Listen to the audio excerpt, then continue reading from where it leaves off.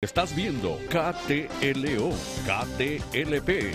Ahora, no te alertas Telemundo. Hola, les saluda Dana Molina en Alertas Telemundo.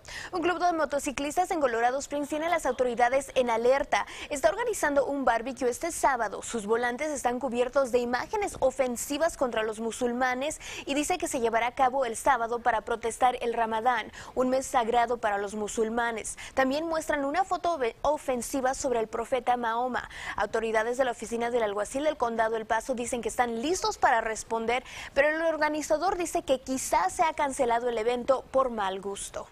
Amigos, gracias por acompañarnos. Recuerde visitarnos en telemundosurco.com. KTLO, KTLP, Telemundo, su noticiero en el sur de Colorado, donde las noticias son lo primero.